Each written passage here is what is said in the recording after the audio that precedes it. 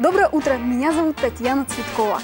Она сошла с крутого Тарантаса и наглая взошла на пароход.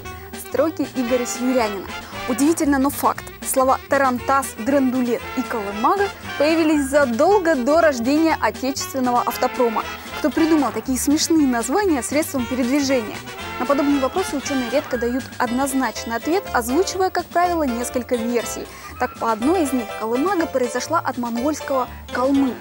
И это звучит правдоподобно. Известны случаи, когда предметы назывались по народу.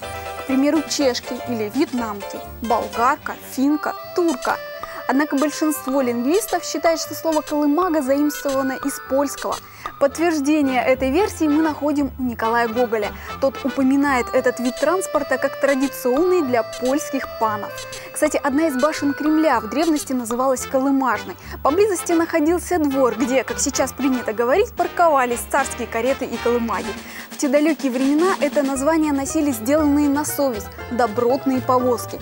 И только несправедливостью можно объяснить превращение вполне респектабельной колымаги в синоним драндулета. В основе этого смешного наименования лежит польское звукоподражание «дрын», отдаленно напоминающее дребезжание транспортного средства при движении. На языке Фредерика Шопена и Барбары Брыльски глагол «дрындати» означает «трястись при езде». Конечно, речь шла о неказистой и расхлябанной повозке. В царском гараже таким было не место. А вот Тарантас появился позже. Дорожный экипаж со спальными местами. Кузов его крепился на длинных продольных брусьях, которые заменяли рессоры, амортизируя толчки и смягчая тряску. На современников этот механизм производил неизгладимое впечатление. Ну что за тарантас? Что за удивительное изобретение ума человеческого? Это странное создание кажется издали каким-то диким порождением фантастического мира, чем-то средним между стрекозой и кибиткой. Владимир Сологуб, сборник путевых заметок «Тарантас».